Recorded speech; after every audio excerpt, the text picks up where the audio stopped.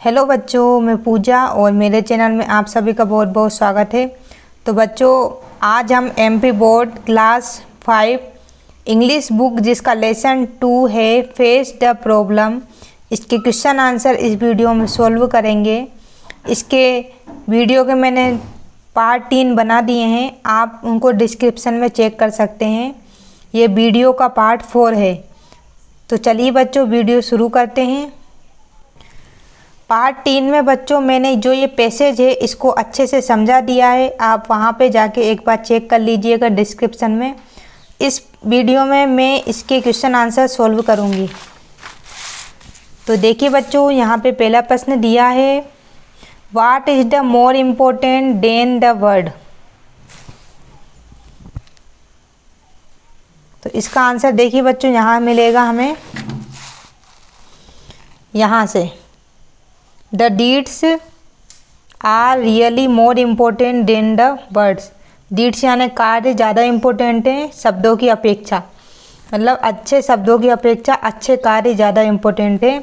तो आप question one का आंसर यहाँ से लेके यहाँ तक कर दीजिएगा। अब हम क्वेश्चन टू पर आते हैं। What spring from a kind heart मतलब जो दयालु हृदय होता है, उससे क्या निकलता है? तो इसका आंसर भी बच्चों यहाँ से कर दीजिएगा आप लोग। गुड मैनर्स इसमें जो डेट दिया है, उसको यहाँ पे हटाना है, उसे हमें डेट को नहीं लिखना है। आप डायरेक्ट लिखिएगा good manners springs from a kind hearts ठीक है? यानी कि शिष्टाचार जो है, वो अच्छे हृदय से ही निकलता है। क्वेश्चन थ्री है what should be do to preserve the natural beauty of place maintained in the passage हमें मतलब जो नेचर की ब्यूटी है, उसको प्रिजर्व यानी सुरक्षित रखने के लिए क्या करना चाहिए? इस इस पे, इस पैसेज में दिया है। तो देखिए बच्चों, इसका आंसर हम यहाँ से करेंगे। ये देखिए, यहाँ से कर दीजिएगा। क्वेश्चन नीचे वाले से। It is not right to spoil the beauty of these place by throwing bits of paper और skin of bananas around and rob others of their peace by making noise यहाँ तक कर दीजिएगा ठीक है बच्चों? यहाँ तक इसको कर दीजिएगा बस।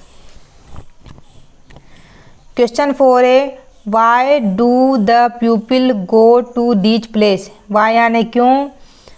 लोग वहाँ पर क्यों जाते हैं ऐसे प्लेस पर? तो बच्चों, इसका आंसर यहाँ से कर दीजिएगा। Pupil go there for a little peace and enjoy लोग वहाँ पे क्यों जाते हैं? थोड़े समय की शांति के लिए। लिटिल प्लीस यानी थोड़े समय की शांति and to enjoy the beauty of surrounding यानी कि चारों तरफ़ की जो सुंदरता है, उसका मज़ा लेने के लिए एंजॉय करने के लिए वहाँ पे जाते हैं। क्वेश्चन नंबर फाइव है बच्चों why should be have good manners ठीक है?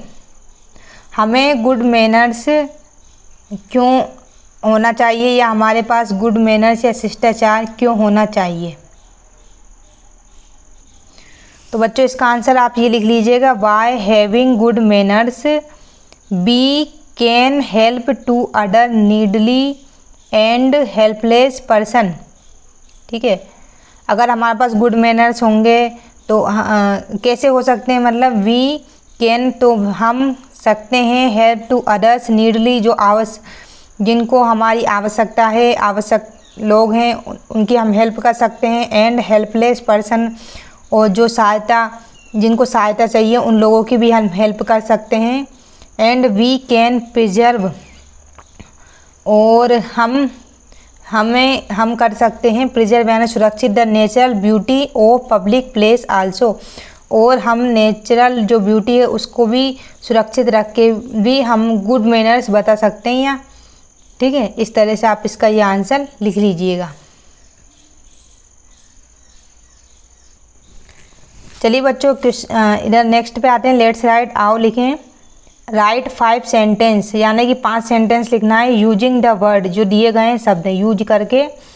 गिवन ब्लो यानी नीचे दिए गए हैं। One one is done for you क्या दिया है? फ्लोवर यानी फूल वाटर यानी पानी प्लांट्स यानी पौधे एयर में सवा राइस में चावल। तो देखो, इसका पहले बना के दिया गया और उसके नीचे अंडरलाइन भी करी गई है। There are are flower in the garden यानी कि देखो बच्चों, मैंने बताया फ्लोवर बहुत सारे हैं तो आर लगेगा, ठीक है? तो there are flower in the garden, बहुत मतलब फूल जो हैं वो बगीचे के अंदर हैं। देयर, अब वाटर का आ गया, देयर इज़ वाटर। वाटर जो है अनकाउंट है अनकाउंटेबल है, यानी कि हम इसको गिन नहीं सकते हैं, इसलिए इसकी, जो हम, जिस चीज़ को हम गिन नहीं सकते हैं तो फिर हम इसको इज़ लगा देंगे यहाँ पे। There is water in the glass, यानी कि गिलास में पानी है। फिर प्लांट्स आ गए प्लांट्स बहुत सारे हो सकते हैं। तो there are many plants in the garden यानी कि कई तरह के पेड़ पौधे गार्डन यानी बगीचे में है। एयर मीन्स हवा, अब हवा को भी हम नहीं गिन सकते हैं, कितनी हवा है ना? तो एयर इज़ नेसेसरी यानी आवश्यक फॉर आवर लाइफ नेसेसरी यानी होता है आवश्यक आवश्यक है आवर लाइफ यानी हमारे जीवन के लिए। राइस यानी चावल देयर आर राइस अब देखो, चावल को भी नहीं गिन सकते हैं, जिसको हम गिन नहीं सकते उनके आगे इज़ लगाएँगे, ठीक है? तो there is rice in the plate यानी कि प्लेट में चावल हैं। अब नेक्स्ट आते हैं बच्चों। बी क्वेश्चन है कंप्लीट द फ्लोविंग एप्लीकेशन ये एप्लीकेशन दी गई है, इसको पूरा करना है। By filling the word from the box जो वर्ड दिए गए हैं बॉक्स में, उसको भर के, इसको एप्लीकेशन को पूरा करना है। तो क्या क्या दिया गया है? देखो बच्चों लीव यानी छुट्टी rest principal school fever fever means बुखार। तो देखिए बच्चों हम इस कर, इस तरह से करेंगे। टू द प्रिंसिपल पहले प्रिंसिपल आता है तो प्रिंसिपल लिख देंगे। Subhash school Bhopal subject application for leave leave यानी छुट्टी की ये एप्लीकेशन है। सरिया madam I am suffering from fever इधर किया जाएगा फीवर यानी कि मैं बुखार से पीड़ित हूँ। I am unable to come to school इसलिए मैं स्कूल आने में असमर्थ हूँ।